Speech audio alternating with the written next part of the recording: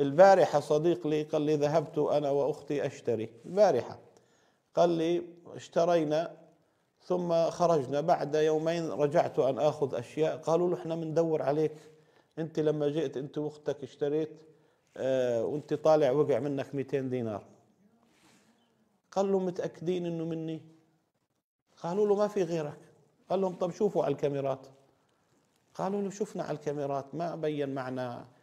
لما كنت على الباب لكن ما في حدا غيرك. قال لهم لا آخذ المال أنا لا أجزم أنه لي.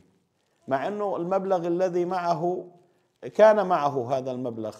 قال لي لكن ما عددته قال لي احتمال أن يكون من غيري لما آخذه أنا وأعلق به؟ ما رضي أن يأخذه. ما الذي منعه من ذلك؟